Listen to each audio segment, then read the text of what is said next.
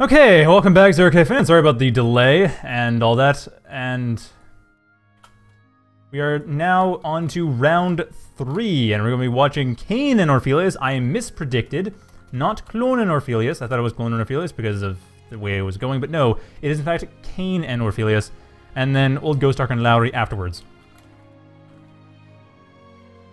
And eventually they will choose their map.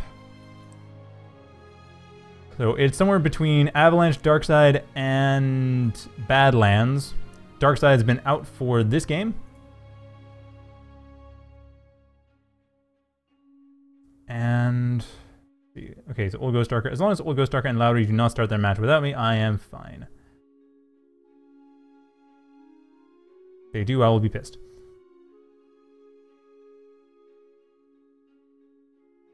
Oh,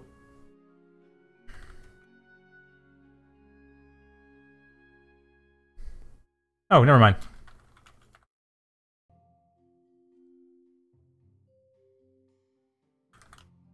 We're going to be playing on Badlands. Now we've got that sorted out. Now, like I said, it's going to be Canon, Orpheus, and then after that, it's going to be Old Ghost Darker and Lowry for basically tiebreaker.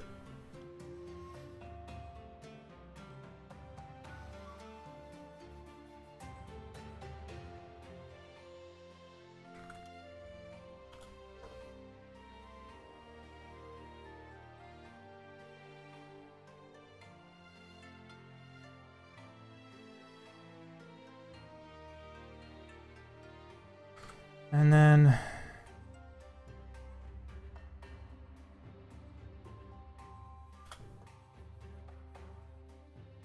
So that will be it. Alright, so we have, like I said, sorry, I'm getting distracted by trying to run this as well. So, Kaen and Orpheus are going to be playing on Badlands. And then once that's done, then we can have Lowry and, and Old Ghost Stalker. And that will be the final, final match tiebreaker because they are top two and they are both 2-0. They're both undefeated. Whoever wins that gets first place, wins the tournament in a convincing fashion. And whoever loses gets second or ties for second. Not quite sure. And Lowry pointing out that they quite like that format. And I, you know, okay, here's the thing. I've been thinking about what might happen if these tournaments get really big. And what I'm thinking is if they get big enough that, especially if we started getting a lot of players, I was kind of thinking about how, no, beyond single limb, like double limb or possibly Swiss.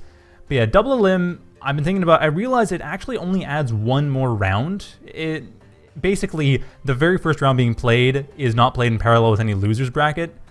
So it adds like one more, maybe two more rounds, depending on how loser's bracket works out, but it's fairly simple.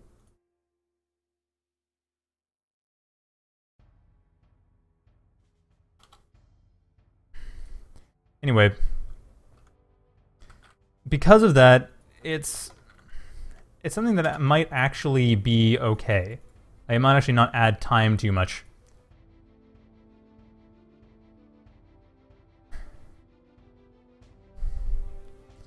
I might not add too much time to the overall tournament, and that means that it would actually be nice because it could be a bit more fair and people would have an easier time getting nice setup.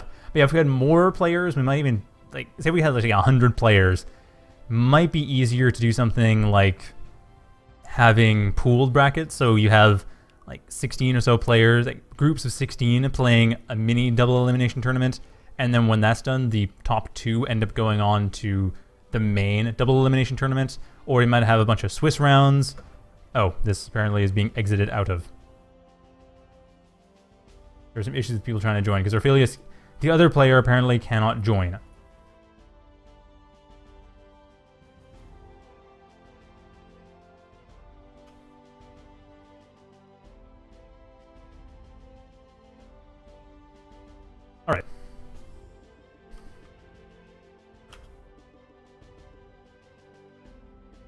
Now we can begin properly. But yes, anyway, as I was saying, that's what I'm thinking, is that Swiss format has a lot of advantages, but I don't know if it's the best format in general, though it does have some advantages.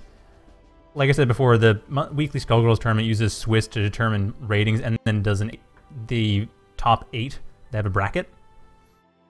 And that actually works decently well, but it's that's over the course of several weeks. It's a completely different style of tournament. Although admittedly that might not be a bad idea in general, but yeah, it's over the course of weeks. It's like every week people can play. You don't have to play every week, but every week you play is the week you get points. So you get points for winning. Basically, you're standing at the end. The points that you have at the end, as they're listed on the brackets, those get totaled up, and whoever's the highest points becomes becomes the part of the top eight, and then it goes from there.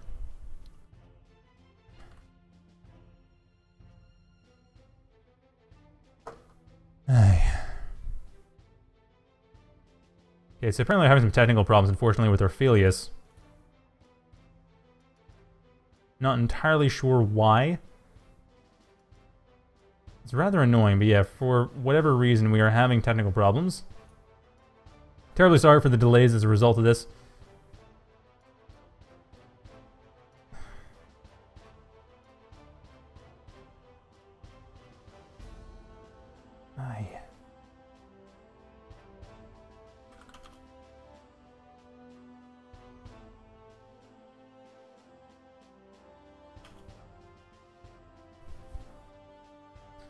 So anyway, yes, logistical issues are occurring, which is rather unfortunate and annoying. But we should be able to get that sorted out quickly enough, hopefully.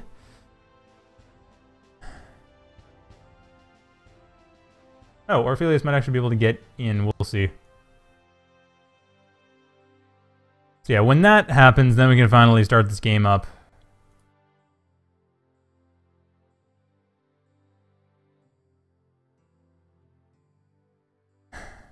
So yeah, as I was saying, tournament formats. So one thing is either you could have like small double limb tournaments that lead into a large one, like pools, or you could have a bunch of like four person round robin type things or Swiss type things, like four person round robin or eight person Swiss or something like that, where it ends up, although like eight person Swiss requires like six rounds to be sure, whereas four person round robin is just three. Anyway, you could do that. You could do Okay, Orfelius is finally connected. Awesome, we're good. We're in. Orfelius has connected. See, I came over the northeast side of the map, going for jump bots apparently, while Orfelius in the southwest side of the map hasn't quite chosen the good to go for...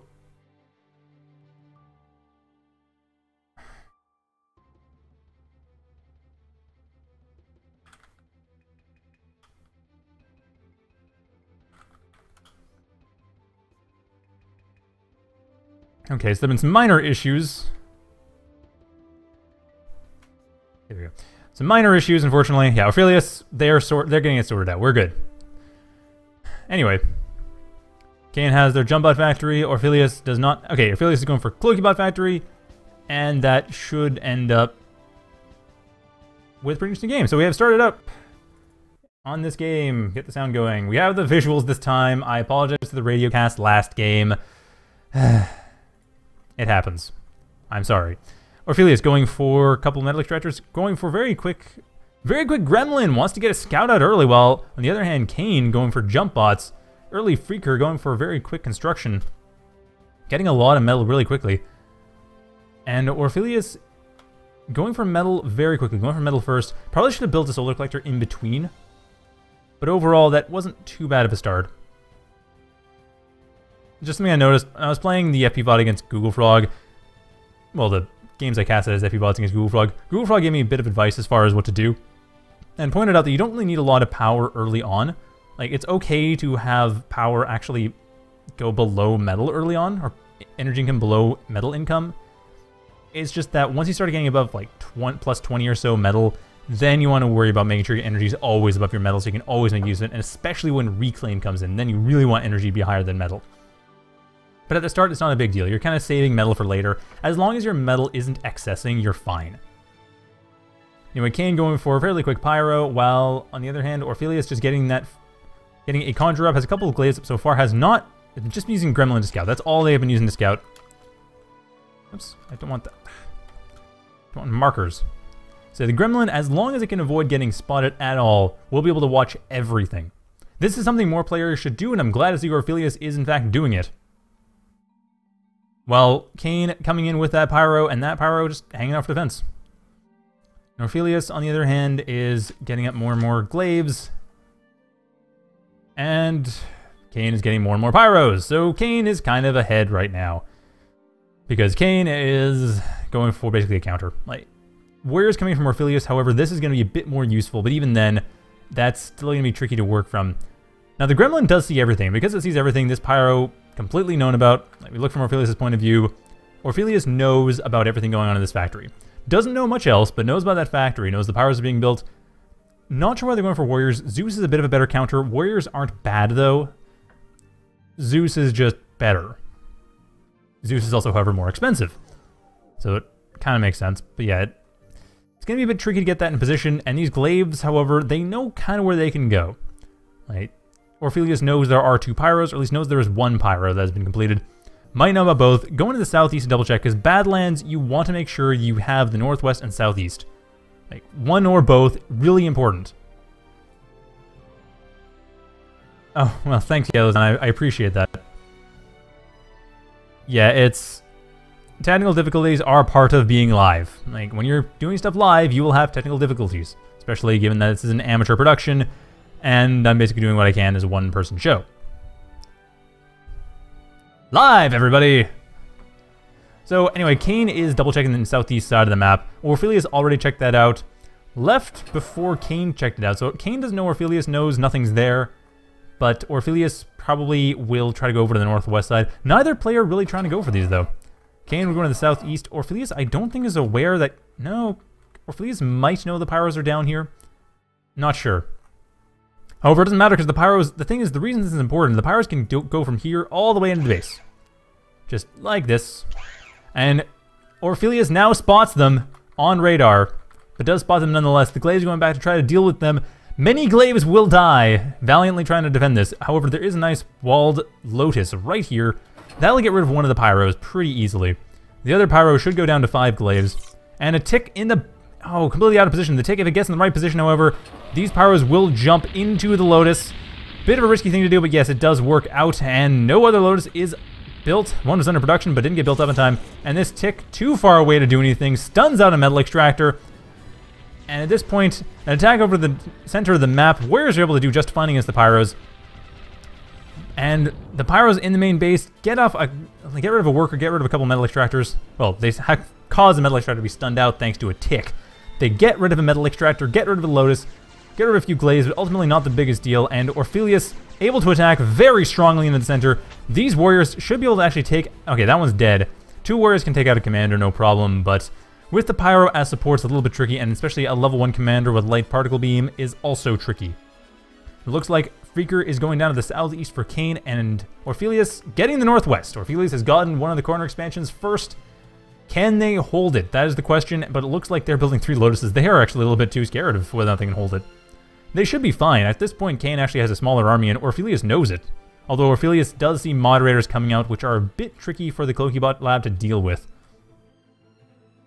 The glaives will do fine, as long as there are more glaives, but yeah, it is kind of tricky to deal with. They are quite tough, they are relatively quick. They are skirmishers, so the warriors are basically out. And the pyros, of course, pyro moderator together, that's hard for glaives to just... They just die. They do not do a good job, but enough glaives will be able to overwhelm it. And given that Orpheus does have a larger army, there's like, what is this, one moderator? Yeah, that's about it. It's like two moderators, actually, and one pyro. Sorry, two pyros. The second pyro is... Where the heck is the second? Oh, the second pyro is under production. That's where it is. Yeah, Orpheus, their commander, is in a bit of a risky position. I should point out the auto repair system has been changed. What happens is they get 10 healing per second after 10 seconds out of combat.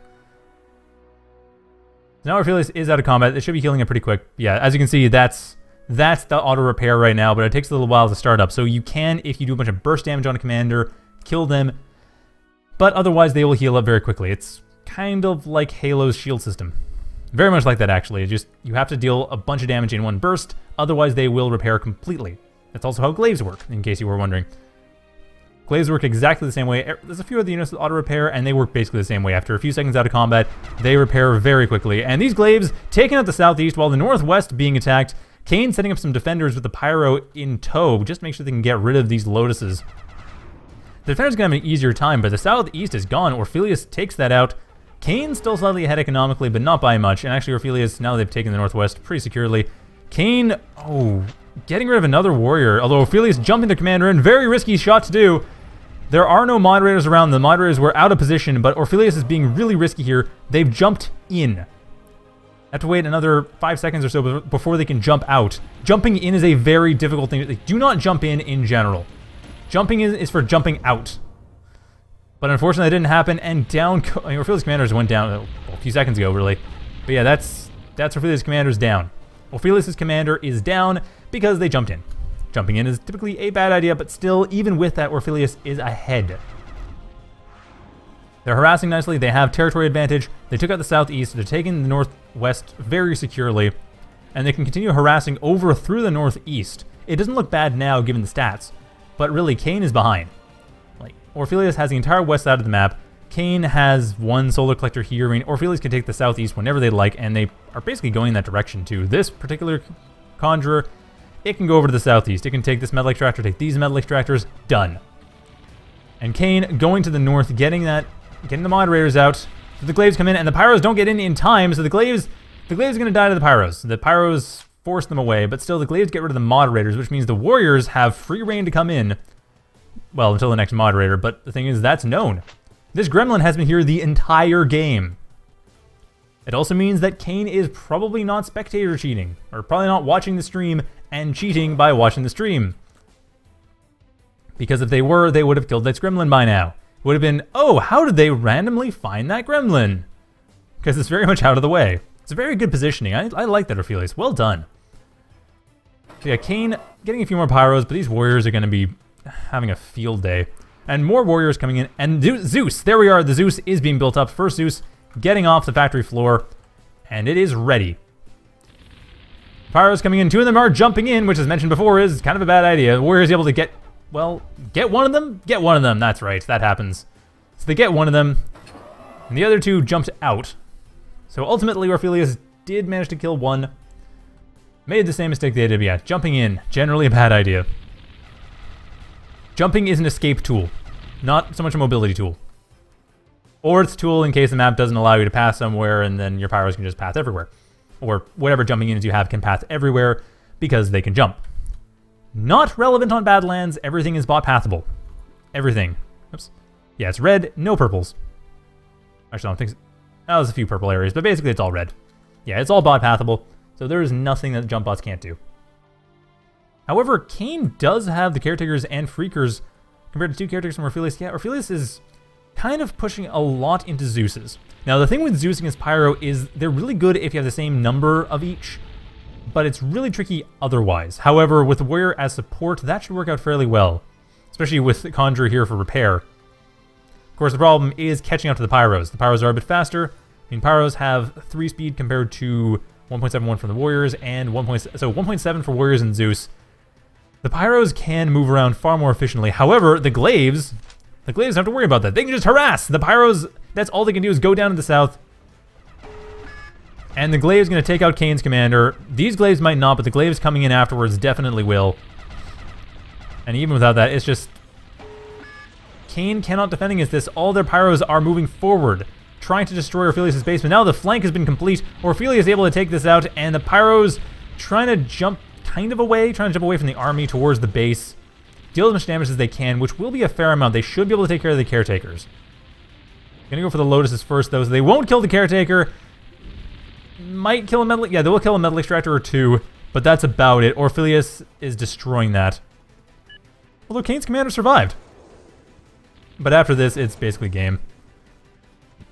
Pyro gets killed right at the end. Smacks into the edge of the map, and that should be it. Oh yes, buildings are not K-bot pathable, I'm sorry. The terrain is K-bot pathable. Skazi's being a honk again. Anyway, Orpheus now has a bunch of reclaim. They have a field of reclaim to work with. They have 800 reclaim in their territory. Yeah. Wait, what the... Yeah.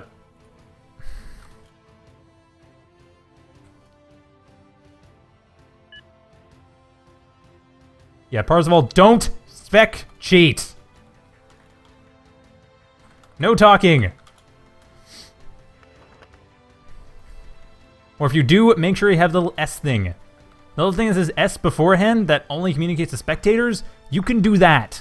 But otherwise, don't do anything. Just don't talk. Like, that's, yeah, this thing, no, just don't. And Keen, okay, factory uh, pointing out, Scuzzy pointing out that the factory could have been killed. I don't know. The the caretakers certainly could have been killed. Those would have been great targets.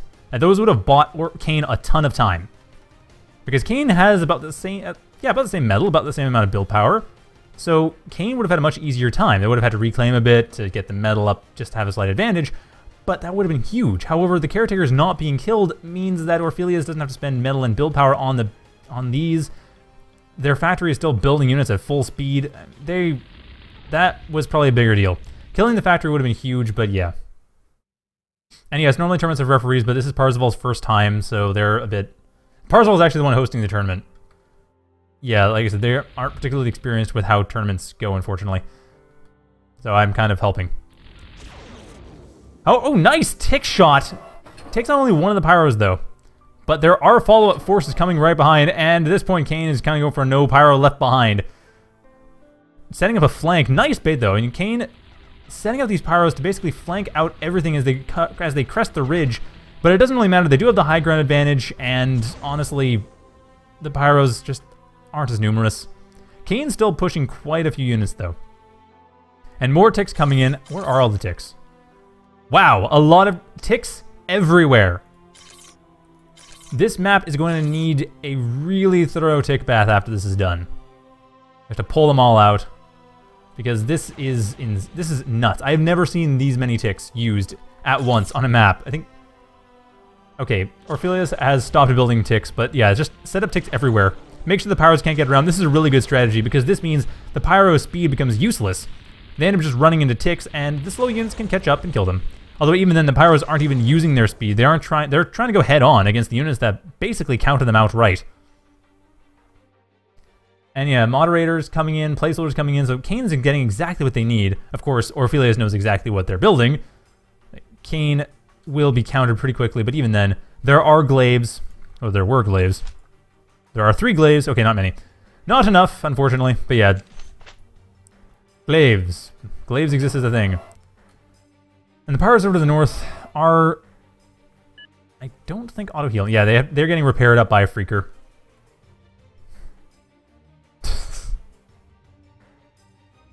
Orpheus. Orpheus pointing out no sumo. No, there's no sumo. Kaen does not have enough money for us. Actually, Kaen actually is kind of getting enough metal for a sumo. Kaen's actually reclaiming a lot. Where are they reclaiming from? Yeah, they're just rebuilding a lot. of Metal Extract is reclaiming a lot. I mean, a lot of this is open for harassment, and Orpheus is doing exactly that. But the moderators are getting in position. However, that's even then not enough. There's so many forces from Orpheus that it's not going to work too well. Placeholder is working okay. As long as the units don't fall into the black hole, we'll be fine. But even then, Pyro's getting killed. I mean, how many Pyros left? Three Pyros left. Two Pyros left. Very shortly going to be one Pyro left, and the moderators aren't going to last too much longer either. Yeah, this is it. Kaen throws in the towel, and that is game. Orpheus takes it. So Orpheus gets, well, tied for second. Oops. Now we're going to have Old Ghost Stalker and Lowry. Whoever wins that gets first. Whoever loses ties for second with Orpheus. Or possibly with Clone. I mean, it might be a three-way tie for second place. Not the biggest deal, but yeah. The winner will be certain. It'll be one of Lowry or Old Ghost Stalker. Alright.